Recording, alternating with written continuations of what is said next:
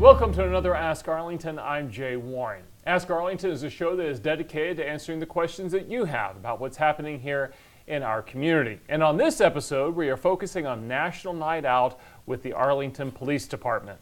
Now, National Night Out, held Tuesday, October 3rd, promotes crime prevention and police community partnerships with Arlington neighborhoods. It encourages people to turn on their porch lights, step outside, and get to know their neighbors as small block parties that will be happening all across Arlington. And joining me now to help talk about this and, and educate us a little bit more about the program is Michelle Benjamin. Michelle is a crime prevention specialist with the City of Arlington's Police Department. Michelle, thank you for being here. Oh, thank you for having me. And before we jump into our resident questions, we got some good ones. We wondered if you could tell us a little bit more about National Night Out and why it is so important here in Arlington, because it's a big deal in yes, our city, isn't it? It is basically National Night Out is the one night out the year where the whole country comes outside, turns on the porch light, and stand, basically let criminals know we do not tolerate crime here.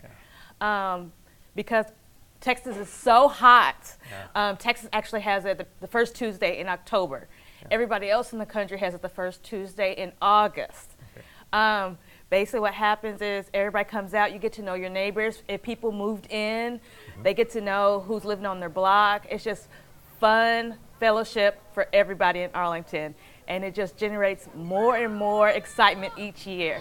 And we should point out because this is a big deal as we mentioned for arlington we compete very strongly nationwide and the number of parties and the number of uh, participants that we have in this program. Tell us a little bit about that because we're like number two in the nation, right? Yes.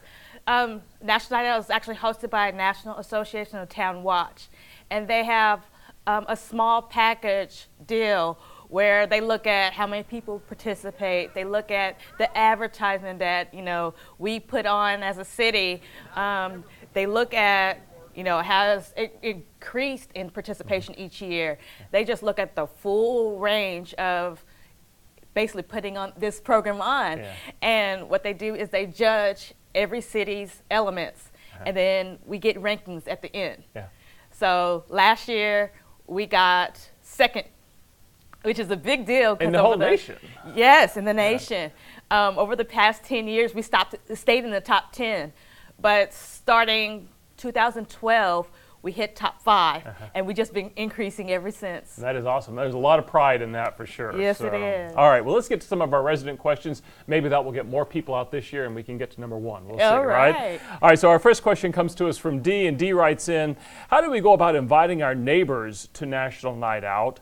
Uh, do I invite the whole neighborhood? Uh, of over 300 people or just my street? So is it is it smaller blocks or is it like the larger neighborhood? Well, that's an excellent question. Basically, it's whoever you want to invite. We have some neighborhoods that invite every single house in their neighborhood, and we have some areas that just invite the people on their street. So our parties range from two people all the way up to a thousand. Right. So it's wide range of sizes. There's no rules. Create your party however you want. Some neighborhoods have an ice cream social. Mm-hmm. Other neighborhoods have a big affair where they have um, jump houses and one neighborhood last year, she told me that she had a truck where the kids could play video games. There's no limit to what That's you could awesome. do for your party. So you could be your own house and you just invite people over to your house. It could be the block, it could be the whole neighborhood. Mm-hmm. It really runs the it gamut. It could be anything. The whole purpose yeah. of National Night Out is just getting out of your yeah. house. Um, making sure you lock your door, of course, turn on your porch light and like I said, it could be any the, the neighbors around you. Uh-huh. It could be two streets over. It could just be the whole section of the city. It really just depends on the party planner. Yeah, and the, the key is getting to know your neighbors. The more you know your neighbors, the more you're going to look out for each other. Yes. The more you're going to send a signal that crime isn't going to be here in our neighborhood. Exactly. So you're, it's, it's all about a building process, which yes, is great. Is. National Night Out is good for that. All right, well, our next question comes to us from Lisa. Lisa, I'm, I'm sorry, from Nancy. And Nancy writes in, how do we know if our neighborhood is signed up?